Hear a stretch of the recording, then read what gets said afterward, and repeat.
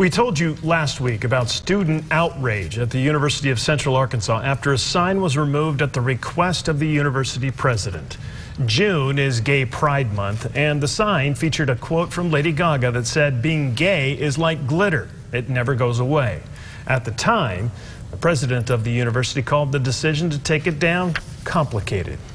But tonight, the university held a Unity at UCA event in support of the LGBTQ community.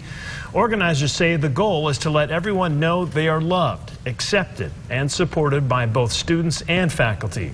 About 50 people showed up to say there's no place for hate and violence at UCA this community exists. There are gay people in the world. Like, that is a fact. Um, so, what makes this wrong? The Bible doesn't teach, you know, bigotry or, you know, it teaches to love everybody. And uh, if the Bible is used as a weapon, then it's a, it's a bad thing.